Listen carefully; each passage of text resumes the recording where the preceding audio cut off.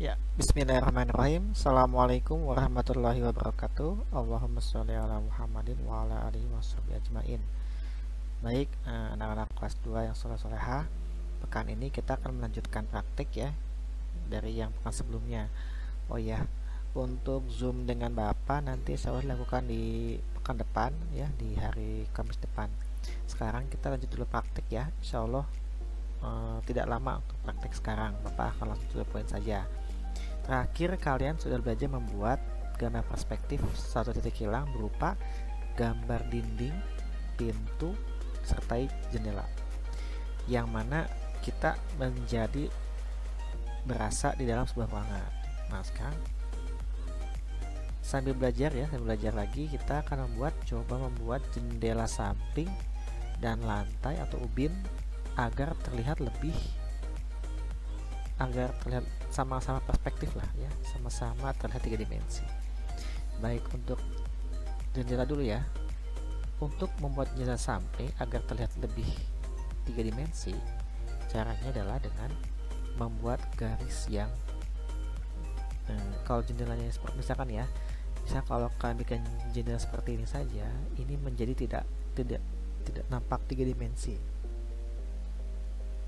Ya untuk membuat tiga dimensi ada beberapa kemiringan. Contoh nih ini pertama buat dua garis lurus seperti ini. Kemudian yang atas aduh maaf diulang ya garis lurus seperti ini. Kemudian yang atas bikinnya agak lurus mengikuti kemiringan dinding garis atas nih mengikuti kemiringan ini nih. Nah dia. Yang bawah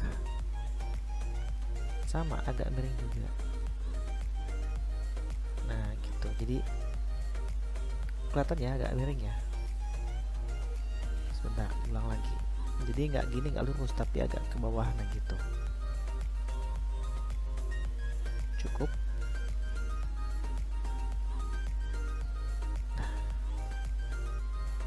ini lebih terlihat tiga dimensi efeknya ya. Nanti yang kanan juga boleh dikasih supaya yang kanan dikasih juga nih. Kalau yang kanan ikuti kemiringannya. Nah seperti nah gitu ya. Yang bawah juga sama. Ikuti kemiringan yang bawah oke. Seperti yang kurang panjang. Jadi agak miring tapi jangan terlalu miring juga gitu ya. Yang pasti nggak lurus itu nggak lurus mendatang seperti itu. Kayaknya yang kurang sini ya. Nah. Baik itu jendela untuk lantai lihat ya pertama gunakan garis agak tipis ya. Kemudian lihat nih bapak akan bikin agak besar aja ya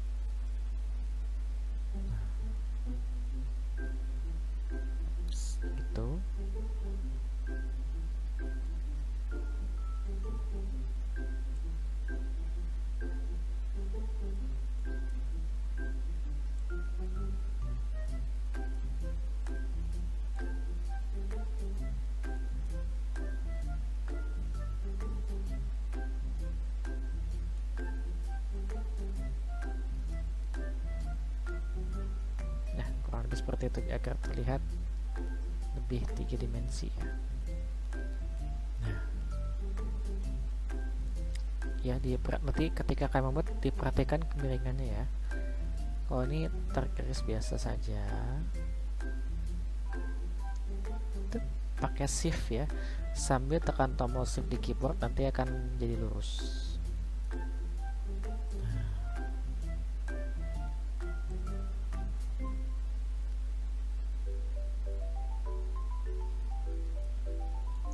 yang bawah harus lebih lebar lagi ya. Nah.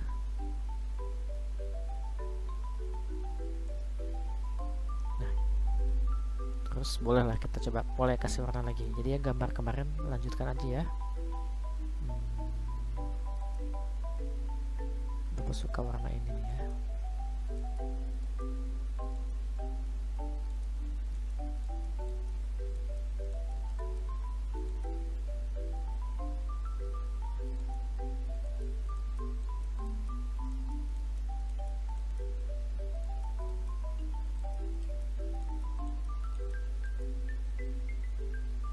catnya warna biru.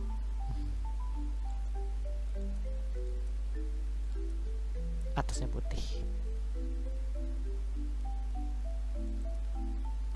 Nah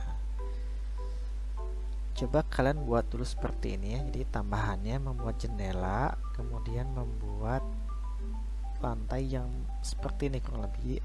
Perhatikan kemiringan garisnya ya. Baik itu saja video dari bapak silahkan lanjutkan prakteknya. Jangan lupa klik save ini ya. Klik save baru exit. Ya assalamualaikum warahmatullahi